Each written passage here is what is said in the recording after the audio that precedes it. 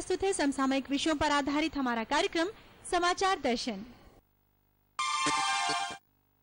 समाचार दर्शन के आज के अंक में, मेरठ के जल प्रहरी 11 वर्षों से चला रहे हैं जल संरक्षण अभियान। सऊदी अरब की राजधानी रियाद में कश्मीरी सेब की बढ़ी लोकप्रियता। दीपावली के शुभ अवसर पर पीएम आवास योजना के तहत बिलासपुर के हितग्राहियों ने किया गृह प्रवेश। अब समाचार दर्शन विस्तार से। जल संरक्षण में आम लोगों की बढ़ी भागीदारी एक उम्मीद ज़रूर जगाती है। मेरठ के जल पुरुष ने अपना पूरा जीवन जल संरक्षण और लोगों को जागरूक करने में लगाया है। आइए देखते हैं ये रिपोर्ट। मेरठ के गिरीश शुक्ला ज़िले में जल पुरुष के नाम से मशहूर हैं। गिरीश शुक्ला निरंतर 11 वर्षों से मेरठ की सूखी धरती की प्यास बुझाने का काम कर रहे हैं। जब बैंक से सेवानिवृत्त हुए तो उन्होंने सीनियर सिटीजन की एक टीम बनाकर जागरूक नागरिक एसोसिएशन की स्थापना की। जल संरक्षण की मुहिम को अपने जीवन का उद्देश्य बनाया। आज वो मेरठ ज़िले में जन जन को जल संरक्षण और खासकर रेन वाटर हार्वेस्टिंग सिस्टम के फ़ायदे बताकर उन्हें जागरूक कर रहे हैं। उनकी प्रेरणा से ज़िले में पिछहत्तर रेन वाटर हार्वेस्टिंग सिस्टम बने हैं। आज पानी पूरे देश के नहीं, पूरे विश्व की ज़रूरत है। इसलिए हमने सबसे पहले पानी की बचाने का कार्यक्रम मंदिर से शुरू करा, उसके बाद मस्जिद में करा। आज भी जहाँ जिस मस्जिद में खड़े हैं, हमने 2008 में यहाँ पर एक सिस्टम स्थापित करा था। और अब शहर काजी जी की मदद से दूसरा सिस्टम इसमें बहुत जल्दी हम लोग स्थापित करने जा रहे हैं। तीसरा हमने फिर चर्च को लिया। और चर्च में भी एक हमने हिस्ट्री क्रिएट करी है। हिंदुस्तान की पहली मेथोडिस्ट चर्च है। जिसमें हमने वाटर हार्वेस्टिंग सिस्टम करा। इसके बाद हम लोगों ने गुरुद्वारे की तरफ़ हमारा मूवमेंट है। हमारा अगला कदम शहर के जो सबसे बड़ा गुरुद्वारा है, वहाँ पर वाटर हार्वेस्टिंग करने हम लोग तैयारी कर रहे गिरीश शुक्ला ने इसकी शुरुआत अठारह सौ सत्तावन क्रांति के उद्गम स्थान बाबा ओघड़नाथ शिव मंदिर से की। यहाँ हर महीने कई लीटर जल का संरक्षण होने लगा। ये कारवा नहीं रुका और मेरठ के चर्च, शाही जामा मस्जिद विद्यालय सरकारी दफ्तर और आवासीय कॉलोनियों तक जा पहुँचा। जल की एक एक बूंद बचाने में ये कार्यक्रम सफल रहा। वो प्रतिदिन लोगों को प्रधानमंत्री के आह्वान पर जल संरक्षण के प्रति जागरूक कर रहे हैं। अगर इंसानों को बचाना है अगर ज़िंदगी को बचाना है तो हमें पानी को बचाना है। और बचाने के लिए हमारा ये काम जो है ये खिदमत खल्क भी है और अपना भी फ़ायदा है इसके अंदर। मैं चाहूँगी कि मैं अभी एक प्रोजेक्ट और यहाँ पे लगाऊँ स्कूल में दूसरे ग्राउंड में ताकि उस साइड का भी पानी कवर हम कर सकें और वो पानी व्यर्थ ना जाए और हमारी धरती को वो पानी मिले। इस तरह के अभिनव प्रयासों ने ही जल शक्ति अभियान को एक जन अभियान बनाया है। छोटे छोटे प्रयासों से ही जल संचयन की महामुहिम को बल मिला है। संगीता श्रीवास्तव की report DD news Meerut. Riyadh में अगर कश्मीर का सेब मिले तो ये किसी भी भारतीय के लिए खुशी की बात होगी। साथ ही उन सेब उत्पादकों के लिए भी प्रेरणा का काम करेगी, जो कश्मीर के बागानों में दुनिया का बेहतरीन सेब उगाते हैं। सऊदी अरब से दिखाते हैं एक खास रिपोर्ट।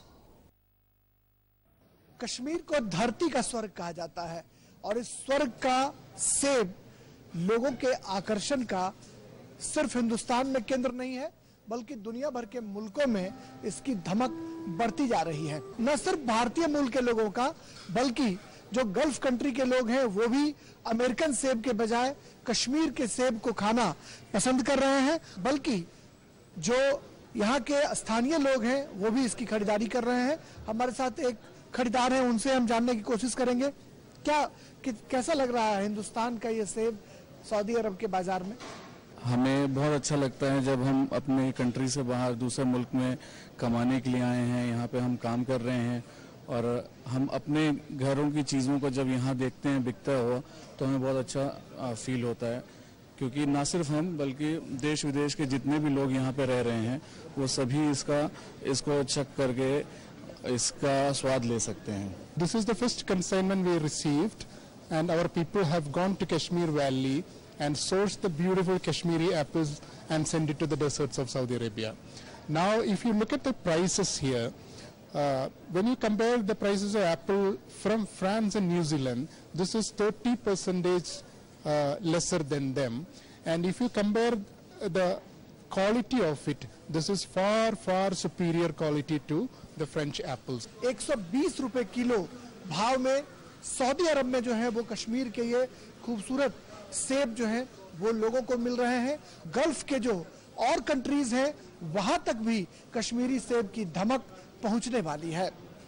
कैमरामैन अंकुर और अपने सहयोगी बिमलेंदु पांडे, टीके अग्रवाल के साथ मैं राजेश राज, सऊदी अरब की राजधानी रियाद से। बिलासपुर ज़िले में ग्रामीणों को प्रधानमंत्री आवास योजना के तहत पक्के मकान उपलब्ध कराए जा रहे हैं।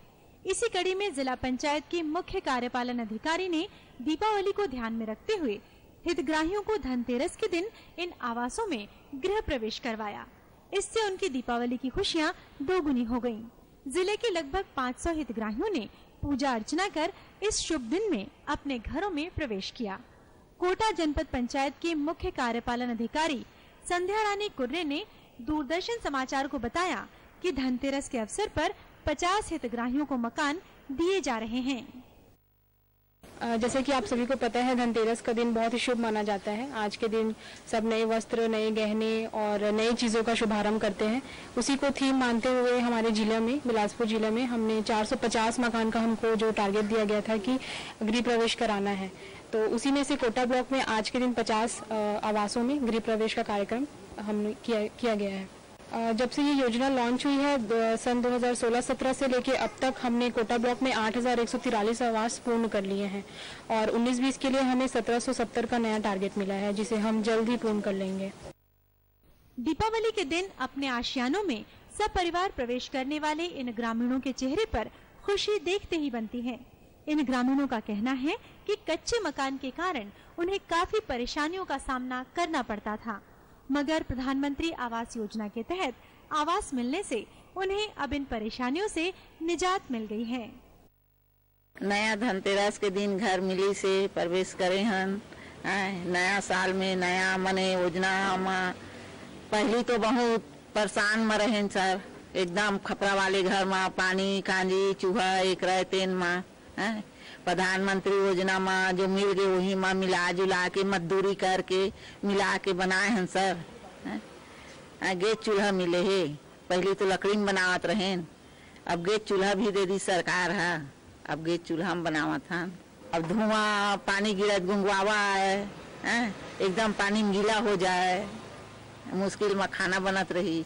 घर पहली माटी खबर लगे घर में रहते रहे आए बरसात में पानी सब नीचे आए अंदर अंदर कूदे खबर उड़ जाते रही से। और बहुत ज़्यादा परेशानी जाए गर्मी में धूप अंदर चले जाते रही से। ठंडा में ठंडा हवा अंदर प्रवेश करे। और आज पक्का मकान मिले ले, ये सब कुछ से बच के सुखमय जीवन की उम्मीद है कि अच्छा सुखमय जीवन रही। आज धनतेरस के दिन बहुत बड़े भाग्यशाली हम आज धनतेरस दिन हम लोग गृह प्रवेश माननीय प्रधानमंत्री द्वारा दिए गए हैं। और हमारी तरफ़ से कोटि कोटि धन्यवाद बोला। इधर की कहानी अब मैं क्या बताऊँ, पहले तो हम खपरा वाले कच्चा मकान में रहते रहे हैं। बहुत बड़े परेशानी आते रही हम लोग। रह के कभी बेंदरा कूदते रही से कभी चैन से सो नहीं पाते रहे हैं गर्मी बहुत मतलब झेले पड़ी से हम लोग की सरकार अपन प्रधानमंत्री आवास योजना ग्रामीण देश है ना, तब से बहुत बड़े मदद दिस की हम लोग ग्रामीण सरकार है, बना के आज बढ़िया से रहन की दे। और सरकार भी ये अच्छा करी से जो आज धनतेरस के दिन हम आज बहुत शुभ कार्य करके उद्घाटन को साहब भेजी सकी दे और ये साहब में सबको दर्शन मिली से नहीं। प्रधानमंत्री आवास योजना के तहत आवेदन दिया था, जिसका स्वीकृति मेरे को 2018 और 19 में प्राप्त हुआ। उसके पहले मैं कच्चा के मकान में रहता था, जहाँ की मुझे बरसात में बहुत तकलीफ़ होता था। आए दिन पानी अंदर घुस जाता था खाना पीना बनाने में तकलीफ़ होता था। दीपावली के उपलक्ष्य में धनतेरस के दिन हमको बहुत अच्छा लगा अच्छा प्रवेश मिल रहा है।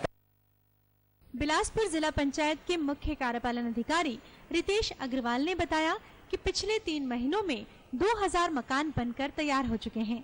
दीपावली के त्योहार जैसे शुभ अवसर पर लोगों को उनके घरों की सौगात देने के लिए गृह प्रवेश कार्यक्रम का आयोजन किया गया।